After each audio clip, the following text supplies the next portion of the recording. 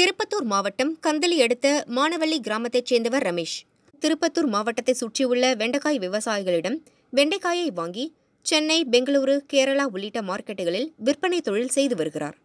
சில வாரங்களாக வெண்டைக்காயின் விலை மிகவும் வீழ்ச்சி அடைந்ததால் விவசாயிகளிடம் வாங்கப்பட்ட வெண்டைக்காயை கந்தளி அருகே உள்ள கல்லேரி ஏரியில் மினி லாரியில் ஐந்து டன் அளவிலான வெண்டைக்காயை ஏரியில் வீசினார்.